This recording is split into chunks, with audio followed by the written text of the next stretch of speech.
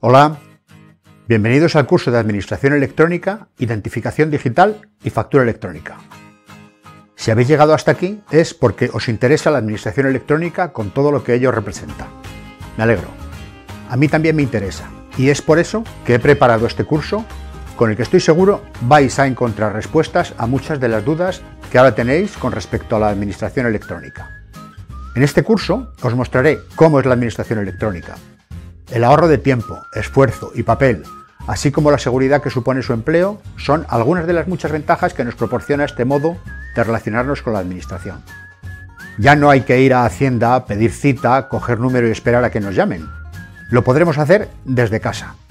Veremos la cantidad tan grande de servicios electrónicos que la Administración ha dispuesto para ser usados por los ciudadanos, facilitando su uso, y que repercuten directamente en el trabajo de las propias instituciones.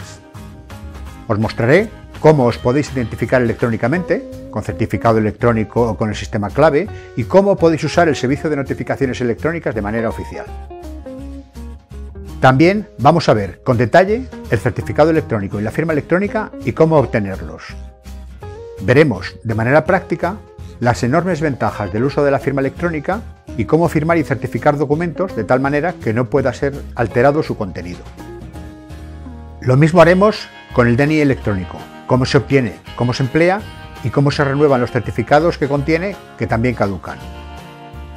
También vamos a abordar la factura electrónica. Hay que recordar que para facturar a las administraciones públicas, por pequeñas que éstas sean, ya es de obligado cumplimiento la presentación de sus facturas en formato de factura electrónica, formato electrónico. Hay muchos proveedores de la administración que aún desconocen cómo hacerlo. Como no podía ser de otra manera, también vamos a dar unas normas básicas de seguridad en el entorno digital.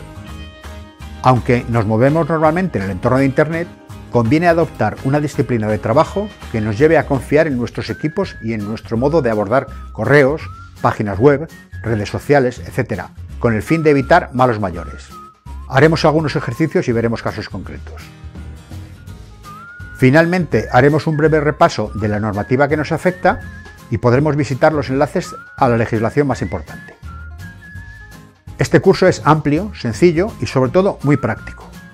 Una vez finalizado, seremos capaces de desplazarnos por todos los servicios electrónicos de la Administración y navegar con toda seguridad. Espero que sea de vuestro agrado. Nos vemos en el curso.